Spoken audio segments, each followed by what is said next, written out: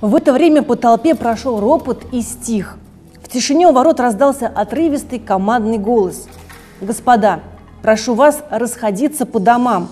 Ваши просьбы будут рассмотрены. Прошу вас спокойно разойтись».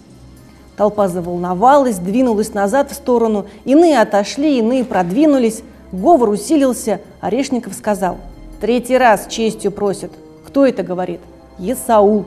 «Товарищи, товарищи, не расходитесь!» – послышался взволнованный голос, и сзади Ивана Ильича на гору чугунного лома вскочил бледный возбужденный человек в большой шляпе с растрепанной черной бородой, под которой изящный пиджак его был заколот английской булавкой на горле.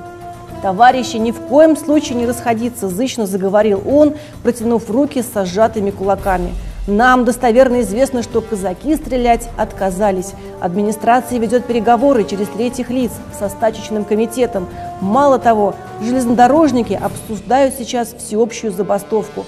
В правительстве паника. Браво! завопил чей-то иступленный голос, толпа загудела, оратор нырнул в нее и скрылся. Было видно, как к переулку подбегали люди.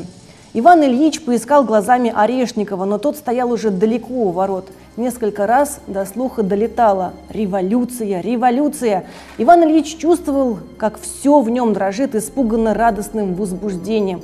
Забравшись на чугунный лом, он оглядывал огромную теперь толпу и вдруг в двух шагах от себя увидел Акундина – он был в очках, в кепке с большим козырьком и в черной накидке. К нему протиснулся господин с дрожащими губами в котелке. Телегин слышал, как он сказал Акундину, «Идите, Иван Авакумович, вас ждут». «Я не приду», – коротко, зло ответил Акундин. Собрался весь комитет. Без вас, Иван Авакумович, не хотят принимать решения. Я остаюсь при особом мнении. Это известно. Вы с ума сошли, вы видите, что делаете. Я вам говорю, с минуты на минуту начнется расстрел. У господина в котелке запрыгали губы.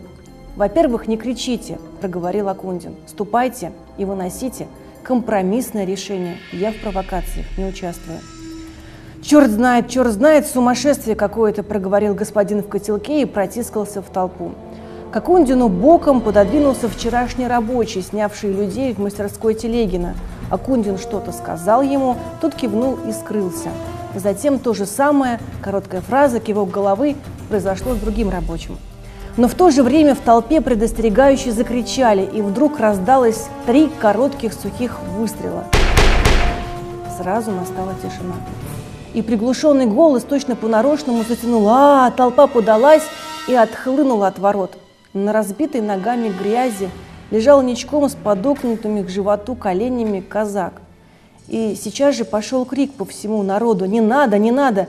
Это отворяли ворота, но откуда-то сбоку хлопнул четвертый револьверный выстрел, и полетело несколько камней, ударившись о железо. В эту минуту Телегин увидел Орешникова, стоявшего без шапки, с открытым ртом, одного, впереди уже беспорядочно бегущей толпы. Он точно врос от ужаса в землю огромными сапогами. И одновременно полоснули, как удары бича, длинные винтовочные выстрелы. Один, два и залп. И, мягко осев на колени, увалился навзничь Орешников. Через неделю было окончено расследование происшествия на заводе. Иван Ильич попал в список лиц, подозреваемых в сочувствии рабочим. Вызванный в контору, он неожиданно для всех наговорил резкости администрации и подписал отставку.